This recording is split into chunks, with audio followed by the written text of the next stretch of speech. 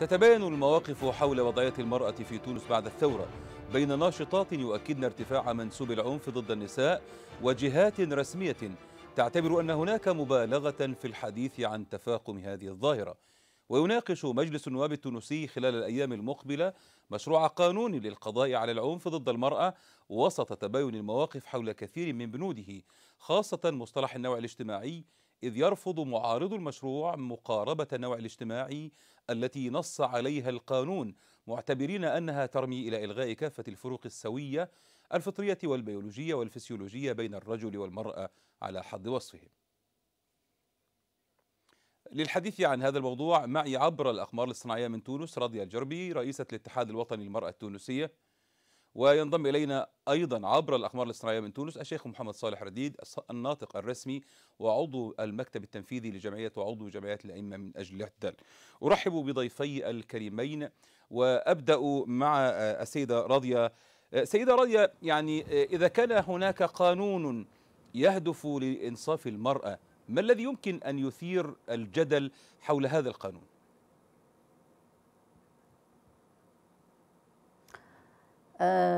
يبدو أنه ما ذكرت في بداية حديثك هو ما يثير الجدل الحديث عن النوع الاجتماعي أو الحديث عن آه تفاقم ظاهرة العنف المسلط على النساء في تونس بشكل خاص وربما على النساء في الوطن العربي وفي العالم بشكل عام. ربما هذا ما يقلق البعض ولكنه حقيقة لابد من معالجتها وحان الوقت بالنسبة إلينا في تونس أن نعالجها وننظر إليها عن قرب. أيضا اشرك معي الشيخ محمد صالح. شيخ محمد يعني لديكم في جمعية الأئمة لديكم اعتراض على هذا القانون؟ بالرغم أن هذا القانون يهدف إلى معاقبة من يسعون في ويتجهون للعنف ضد النساء ويهدف القانون لإنصاف المرأة. فما الذي تعترضون عليه في هذا القانون؟ بسم الله الرحمن الرحيم وصلى الله على نبينا المصطفى الكريم أخي الفاضل أحييك تحية معناها من القلب وإلى كل المشاهدين الكرام لقناة الجزيرة مباشر. وأقول لك ردا على هذا السؤال أن جمعية الأئمة من أجل الاعتدال ونبذ التطرف لا تجد في هذا المشروع يعني ما تنكر إلا مسألة الجندر. فالعنف ضد المرأة وضد النساء كل الناس الأسوياء يرفضون العنف ضد المرأة مهما كان نوعه ومهما كان مأتاه. فنحن لا نعارض مبدأ الدفاع عن المرأة ومبدأ رفض العنف ضد المرأة وإنما نحن نعترض على مس المقدسات الإسلامية ومس الثوابت الإسلامية التي جاء بها ديننا الحنيف. مثلا مسألة اعتبار أن المهر هذا عنف ضد المرأة هذا نرفضه. مسألة أن القوامة تكون يعني يعتبرونها عنف ضد المرأة هذا نرفضه. الجندر كذلك هذا الجندر الوطني الذي أخذ ويعني استوردوه من الجندر العالمي كذلك نرفضه. يعني هل يمكن معناها هل يقبل أن يعني يقترن رجل برجل وأنثى بأنثى في فيما يتعلق بالزواج. هذا شيء ترفضه الأخلاق وترفضه النفس الأبية وترفضه كل التشريعات وكل الديانات سواء كانت السماويه أو غير السماوية. ولذلك نحن لسنا ضد قانون العنف ضد المرأة وإنما هو اعتراض على الجندر الذي هو يعني يمس بالثوابت الدينية وبالثقافة العربية الإسلامية الأصيلة علما وأن مجتمعاتنا لا تقبل مثل هذه التشريعات ولذلك مرروا مفهوم يعني مسألة الجندر في هذا القانون الذي يتفق عليه الجميع. العنوان القانون اللي هو العنف ضد المرأة ومقاومة العنف ضد المرأة لا يختلف فيه اثنان.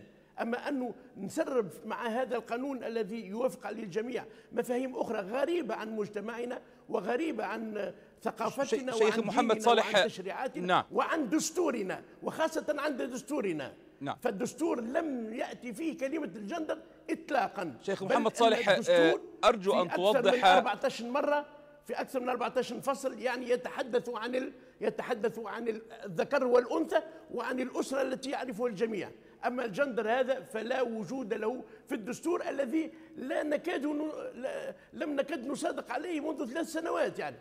نعم. يعني يدوب دخلنا في السنة آه، آه، الرابعة الثالثة الآن من المصادقه على هذا الدستور. الآن نناقض أنفسنا ونريد أن ندخل الجندر الذي هو مخالف لثقافتنا ولدستورنا. نعم يعني سؤالي لك شيخ محمد صالح وإن كنت تسمعني الكثيرون ممن يسمعوننا نعم. ويتابعوننا لا يعرفون شيئا عن الجندر أو الجندر الذي تتحدث عنه هل هل المقصود هو النوع الاجتماعي نوع الجنس سواء رجل أو امرأة أم أن له تفسير آخر في القانون الجندر الذي قصدته ما المقصود به يعني لست أنا الذي قصدت يعني هذا. المشروع المشروع الذي تحدث عن الجندر والذي سيناقش والذي هو معروض الآن على مجلس نواب الشعب في تونس. يعني الجندر لم يعرف. كذلك يعني في في مايو الفارط هذا 2016 رئاسة الحكومة أصدرت منشورا يعني فرقته على ووزعته على كل الوزارات. بما في ذلك معهد الأحصاء وكل مؤسسات الدولة وتم اعتماد هذا الجندر. هذا الجندر في كل معناها اختيارات الدولة منذ ماي الفارط وهذا المنشور ذكر فيه كلمة الجندر ومفهوم الجندر يعني لم يحدد إطلاقا. طيب. وذكر هذا المنشور أرجو أن تبقى معي شيخ محمد صالح. كلمة الجندر دون تعريف ودون تفهيم نعم. أرجو أن تبقى معي. أنتقل إلى السيدة راضية ست نعم. راضية يعني إذا كان القانون كما تحدث آه، الشيخ محمد صالح يهدف إلى هو اتفق معك في أن القانون ليس عليه أي, أي غبار وأنه يدعم هذا القانون لكن هناك تحفظات على قضية ال المساواة المطلقة يعني القوامة المهر وأيضا قصة الجندر ما ما رأيك في هذا الكلام؟ اولا لست متفاجئة بموقف آه، الزميل ضيفكم آه، الثاني لأنه أنا دارسة للقانون ومنذ آه، دراستي في التعليم العالي لمسألة الأحوال الشخصية وغيرها من المواضيع التي لها صلة بحقوق النساء وحقوق المرأة في ذلك الوقت مثل ما كنا نعبر عنه. كانت هنالك أصوات دائما تتعالى من بعض رجال الدين الذين كانوا يفهمون خطأ بعض المعاني القانونية أو التشريعية وكان لهم دائما تأويل مخالف لمقصد المشرع الوضعي أو لمقصد الفقهاء والمنظرين والمدافعين على حقوق المرأة بشكل عام. اذا اليوم لست متفاجئة وموقفه للأسف ينم عن عدم معرفته لهذا لمشروع هذا القانون عدم علمه بمحتواه وهو بدوره يعترف ويقول ست راضية لا عذرا على المقاطعة. لا يعرف نعم. معنى الجندرة. ست راضية عذرا على المقاطعة لكن يعني إذا المسألة أرجو أن توضحي لنا ولضيفي ولضيفي أيضا توضحي لنا يعني هل هذا القانون سيهدف إلى المساواة؟ ما معنى الجندرة. نعم. لا هذا القانون ليس ليس القانون هذا القانون لا يتعارض مع التشريع الإسلامي ولا مع ديننا الحنيف ولا مع القواعد الدينية ولا يهدف إلى خلق بلبلة مثل ما يعتقد ضيفنا وإنما آه، آه، هنالك معاني في القانون الوضعي التونسي. عندما نتحدث مثلا عن المهر فعلا هو آه، تعدي على حقوق النساء وعلى المساواة لأن المهر في الفصل القانوني الناصي على ذلك بمجلة الأحوال الشخصية هو ثمن لعقد نكاح. هذا مثل ما آه، بمثل هذه العبارة يعبر عن هنالك عقد مقابل عملية آه، لا نريدها أن تكون آه، هي مسألة مادية وإنما هو عقد زواج عقد لبناء أسرة لمؤسسة يتكون من ذكر وأنثى من رجل وامرأة من أجل مواصلة الحياة الأسرية في نطاق التفاهم والتوازن. ثم لا يذهب إلى ظنكم وأن هذا القانون يبعث على آه، إباحة أو التشريع للزواج الأنثى بالأنثى والذكر بالذكر مثل ما ذكر ضيفكم. لا صلة بهذا الموضوع البتة في مشروع القانون المقدم لمناهضة كل أشكال العنف المسلط على النساء. هو قانون شامل فيه احترام لجميع القوانين الدينية والوضعية ولمبادئ حقوق الإنسان. تكفل حقوق النساء وعندما نتحدث عن الجندرة الجندرة لا بمعنى ذكر وذكر مثل ما قال ضيفكم ونبيح الزواج المثلي وإنما بمعنى هنالك مقاربة دائما في التوظيف مثلا في الوظائف عند مثل ما ذكر آه، ضيفكم أو عندما عند التشغيل أو عند التأجير أو في كل المسائل الحياة اليومية لابد أن نعتمد عنصر الجندرة. بمعنى لابد أن ننظر إلى المقاربة الاجتماعية في عملية التوظيف. لا ننظر إلى مسألة هذا ذكر له حق في أجر أرفع أو أنثى لها حق في آه، أجر أدنى. أو آه، هذا يشتغل ساعتين وهذا يشتغل أكثر من ذلك. لابد أن أو هذا مهن مخصصة للذكور وأخرى مخصصة للإناث. وإنما لابد أن نضع بين آه، أعيننا ونصب أعيننا المساواة بين كل الأطراف وإن آه، عملية الجندرة بمعنى لا ننظر إلى الجنس وإنما ننظر إلى حاجة المؤسسة وحاجة الإدارة إلى الطرفين على السواء. ثم أيضا لا يجب أن يكون هنالك تمييز سلبي للنساء بسبب أنهن أناثي أو بسبب أنهن آه، نساء. وإنما هذا ما نعبر عنه بالجندر وإنما هنالك دائما مقاربة الكفاءة ودفع للنساء من أجل أن يكون في مواقع القرار وفي مواقع الإدارة وفي مواقع في هذا السياق. وأن نعم. تحفظ كرامتهن في مواقع العمل. يعني هذا هو ما يعبر عنه بالجندرة وليست الجندرة بمفهوم آه، زواج مثلي وهذا إساءة للقانون ليس إلا. نعم. سيدة ريا يعني سؤال أيضا يأتي من خلال الاعتراض على هذا القانون وهو آه، أرجو أن تجيبي عليه باعتبارك آه، رئيسة الاتحاد الوطني للمرأة التونسية ومع هذا القانون هل هذا القانون يساوي بين المرأة والرجل في الميراث وهو ما يعترض عليه الكثيرون؟ هنالك تطرق للعنف الاقتصادي المسلط على النساء في عملية التشغيل في عملية التأجير في فرص العمل في الترقيات آه، آه، في آه، وسائل العمل وأيضا في عملية اكتساب النساء لآليات التملك. هنالك الدعوة فعلا من المجتمع المدني وفي المشروع نفسه. كانت هنالك دعوة أيضا حتى إلى مراجعة بعض الفصول المتعلقة بالتمييز ما بين النساء والرجال في مسألة الإرث. ولكن في هذا القانون ليست هنالك إشارة وليس هنالك فصل يتعلق بهذا الموضوع. هنالك العديد من الفصول التي نرغب في تنقيحها والمتعلقة بمجلة الجنائية وبمجلة الأحوال الشخصية وبعض أساليب العمل على مستوى مراكز الأمن وعلى مستوى المحاكم الابتدائية في التعاطي مع مسألة العنف. وليس هنالك فصل خاص أو دعوة خاصة أو بند خاص أو ما من شأنه أن نتحدث فيه على أن هذا القانون تحدث إلى مسألة المساواة في الإيراء في في الإرث بالشكل الذي تطرحونه الآن أعود إلى سيد محمد صالح سيد محمد صالح آه، الحديث حول هذا القانون والحديث حول النقاط الخلافية هل آه، ما أجابت عنه السيدة راضية الآن يعني يوضح الأمور بالنسبة لكم في آه، جمعية الأئمة وفي الداعين إلى استبعاد هذه النقاط الخلافية أم لا؟ بارك الله فيك على هذا السؤال الجيد.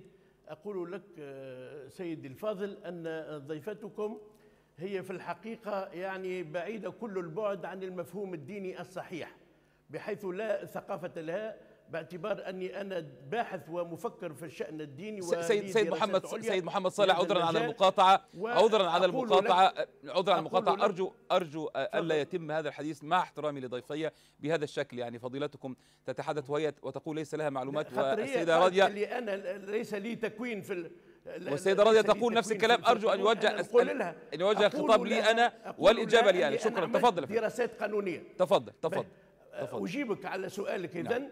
يعني أنه الكلام اللي كنا نستمع إليه هو بالعكس يزيد الأمر غموضا بحيث الجندر لدى كل الناس عند القاصي والداني في أوروبا وفي كل الدنيا الجندر يفيد ما أشرت إليه وليس ما قالت إليه ضيفتكم. ولهذا الدين الإسلامي جاء ليكرم المرأة وأول من كرم المرأة في الدنيا هو الدين الإسلامي الذي أعطى المرأة حقوقها مثل الرجل تماما وبدون تمييز. وإذا كان هناك مجتمعات أخطأت في تطبيق التشريعات الإسلامية فهذا شأن المجتمع ولا بد من إصلاحه. أما الدين فلا يمكن أن يصدر منه الحيف والظلم. وفيما يتعلق بالإرث فإن الإسلام أنصف المرأة في الإرث بل إنه جعلها ترث أكثر من الرجل في أكثر من 25 موضع. ولهذا يعني ليست هناك هذه مسألة مغلوطة. لماذا؟ لأن الناس لا يفهمون الفقه ولا يفهمون القرآن الكريم ولا يفهمون التشريعات الإلهية العادلة. ولا يمكن أن المولى عز وجل يعني يشرع تشريعات يعني يخير فيها الذكر على الأنثى أو يخير فيها الأنثى على الذكر.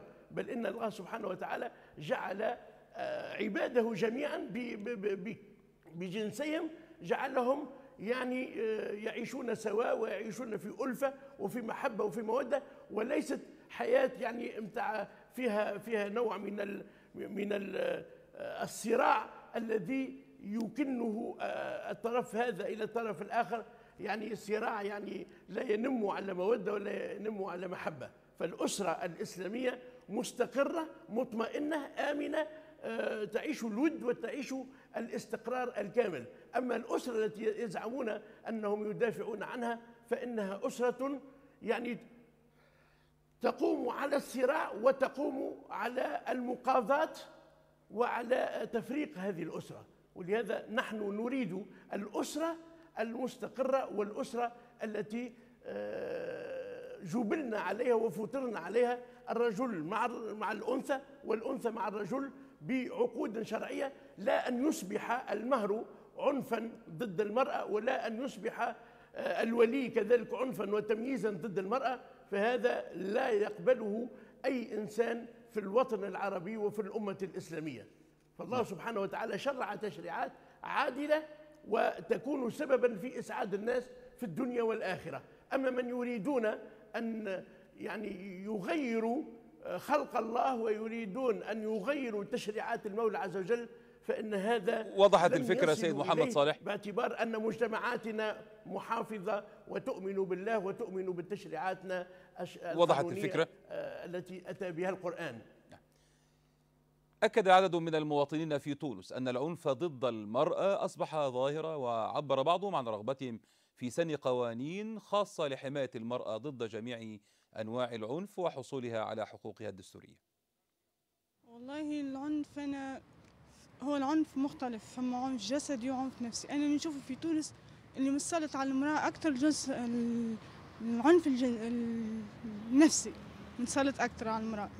منتشر مش بصفة كبيرة بصفة كبيرة كبيرة كبيرة جدا. فين تمشي تلقى العنف على المرأة؟ المرأة ما عندهاش الحق تتكلم تتكلم تاكل الصك على راسها. كان آه الأسباب حتى مثلا باش تعطي رأيك في حاجة تقولوا مش هكاكا تتعنف. ما تتعنفش بالضرب تتعنف لفظيا.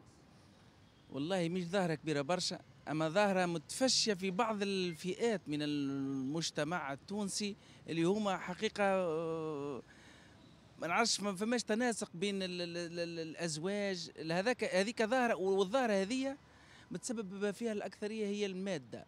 بالنسبة معناها بارابور لبرشا دول الآخرين معناها المرأة التونسية ماخذه حقها. يعني تنجم ندافع على روحها بالقانون أما العيب مش في في القانون. العيب في المرأة إنها تخاف إنها تمشي تحاكم راجلها والله أنا هاني نشوف فيهم برشا برشا معناها يعانفوا آه نساء مع رجالهم ورجالهم مع نساهم حتى ولاد صغار معناها حكاية بالحق منتشرة على الآخر. دونك لازم حل باش آه العبد آه يشوفوا حل آخر. الضرب خاطر ماهوش حل هذيك. ينجموا بالكلام ينجموا أي حكاية ينجموا ما نعرفش أما في تونس بالحق برشا برشا. في الوقت هذا وقت الراهن نتاعنا آه لازمها قانون باش يحماه خاطر الحق مضطهدة برشا وأنا أنا معاه المساواة معاها وعطاها حقوق والحريات معها بالطبع معناها إحنا نناضلوا إحنا كمرأة وأنا آه، من دوري آه، المتواضعة معناها كلنا نحاولوا نناضلوا المرأة هنا أثبتت ذاتها إحنا في تونس بالعمل بالشغل في كل ال- الأسلاك فهمت؟ هذا معناها جزء كبير جانب كبير أنها تحاول باش تحقق ذاتها. وفي نفس الوقت من المستوى السياسي نحاولوا في آه، آه، كمجلس آه، النواب آه، أنه يتقنن في كل مرة آه، ضد إحنا ضد العنف آه، في المستوى السياسي وفي المستوى الفني. نحاولوا باش نصرحوا به. أعود إلى ضيفي وأذهب إلى السيدة راضية الجربي. سيدة راضية يعني آه، حتى الرجال معترفون بأن المرأة لها حقوق وأنها تحتاج إلى إلى هذا القانون والنساء يقولن أنهن سيناضلن من أجل هذا القانون. وحتى ضيفي يعترف بأن المرأة لها كل الحقوق. آه، الس- السؤال الآن ما هي أسباب هذا العنف في رأيك؟ ال- المسألة آه، ليست مسألة آه، يجب أن يكون المرأة حقوق أو أن تكرس هذه الحقوق من عدمه. إحنا قلنا ال- المسألة ما هيش في قراءة دينية أو هي في نقد آه، من حيث أن هذا النص مخالف للدين. في الحقيقة هذا النص يتطابق مع معاليم الدين الإسلامي الذي يبحث على ال- ال- المودة والمعاملة بالحسنى. بين الزوجين أو بين أطراف المجتمع بشكل عام. ثم هنالك ضروريات تقتضي الآن بعد فعلا تعرض النساء في تونس إلى العديد من أنواع العنف وأن العنف أصبح ظاهرة لا يمكن يك- يقع اخفائها أو التغافل عنها. ثم أيضا آه، خروج المرأة إلى العمل منذ سنوات عديدة واستغلالها على مستوى الاقتصادي أو على مستوى العمل المهمش أو في مواقع ال- ال- العمل الفلاحي. أو أيضا التحرش وما نراه على مستوى آه، الشوارع وفي الطرقات العامة وفي وسائل النقل. وهذا ليست مسألة تخص تونس فقط وإنما هي مسألة تخص العديد من الدول بما في ذلك الدول المتقدمة. ثم هنالك أيضا عنف سياسي يسلط على النساء رغم تعلمهن في تونس ورغم تبوئهن آه، نتائج ومواقع جد جيدة ومتألقة إلا أنهن في نهاية الأمر يتعرضن إلى جانب كبير من العنف. آه، الوزارة والسلطات العمومية في تونس تعطي رقما يقدر ب 47.9% من النساء التونسيات خلال سنة 2014 تعرضن على الأقل مرة في حياتهن إلى العنف في في آه، بالنسبة لفئة ما بين 16 و 20 سنة. وهنالك نسبة تتجاوز 53 بالمئة من النساء تعرضن في حياتهن على الأقل إلى العنف أو أحد أنواع العنف ثم هنالك أرقام مفزعة تنص على أن هنالك أكثر من ثلاث نساء على الأقل في اليوم يقع اغتصابهن أو التحرش بهن جنسيا وفضلا عن الكم الهائل من. العملة التي يعملن في القطاع المهمش وهن يقع استغلالهن استغلال فاحش على جميع المستويات إذا كل هذه الوضعيات تتطلب منا أن نتدخل وأن من المشرع التونسي أن يتدخل من أجل وضع حد لمثل هذا العنف. ثم بعد الثورة العنف لم يعد العنف بما تعودنا عليه فيما قبل وإنما أخذ شكل آه، خطير جدا لأن العنف أصبح شنيع في تونس. هنالك اغتصاب للأطفال اغتصاب للرضع اغتصاب للعجائز. هنالك ال- ما يعبر عنه ب بزنا المحارم. هنالك أيضا القضايا أو الجرائم الأخلاقية المسلطة على النساء وهنالك أيضا استغلال مهني ووظيفي واقتصادي للنساء. ثم يتحدث حتى عندما نتحدث عن الإرث في تونس العديد من الفتيات الصغيرات التي يعملن في المنازل. أولا يقع تشغيل الأطفال وهذا أيضا عنف وهذا آه، ممنوع قانونا ومع ذلك يقع تشغيل الفتيات الصغيرات في المنازل. هات- هذه الفئة من الفتيات. آه، يقمن بإعالة عائلتهن في في الريف ويبنين المنزل ويشترين بمقابل ساعدهن وأيديهن الصغيرة شكرا. ال- الأراضي ويعلن الأسرة. ثم في نهاية الأمر ليس لهن أي حق فيما جنينا وفيما قمنا به من أعمال. شكراً جزيلاً. إذا هنالك أمر يقتضي هذا التدخل وأعتقد وأن تونس على الطريق الصحيح بهذا القانون بمشروع هذا القانون. شكرا جزيلا. آه، أذهب إلى ضيفي آه، آه، شيخ محمد صالح. يعني آه، آه، شيخ محمد صالح أرجو آه، كلمة أخيرة. إذا كانت كل هذه الأسباب والظاهرة وهي ظاهرة اجتماعية وكما قالت السيدة راضيه ليس لها علاقة آه، بالإسلام وإنما هي ظاهرة اجتماعية موجودة في المجتمع آه، التونسي وفي كل المجتمعات العالمية. والسؤال الآن ما الذي يمكن أن يقرب وجهات النظر ويخرج هذا القانون للنور لكي يعطي هؤلاء المظلومات حقهم بدون آه، أن يكون هناك نقاط خلافية مرتبطة بالدين الإسلامي؟ بارك الله فيك. بعد آه، هذا ال- الف- تلك الفترة الطويلة التي عاشها المجتمع التونسي يعني تقريبا خمسة عقود أو ستة عقود عاشها في تجفيف المنابع وفي آه، عملية تغريب المجتمع إلى آخره. أصبح المجتمع التونسي يعيش نوع من التفكك ومن ومن التهرئة ال- الاجتماعية. لذلك مسألة العنف هذه ليست مرتبطة بالأنثى. المجتمع بأكمله يعيش نوعا من العنف نظرا لل- لل- للظلم الذي كان يمارس على كل أصناف المؤسسات في المجتمع وعلى كل وعلى كل الأفراد بكل أجناسهم وبكل معناها آه، آه، يعني آه، صفاتهم. ولهذا كما فما عنف ضد المرأة في تونس هناك عنف ضد الرجل كذلك. يعني إحنا لا ننفي وجود عنف ضد المرأة كما كذلك لا نتجاهل ولا يجب أن نتجاهل أن هناك عنف ضد الرجل.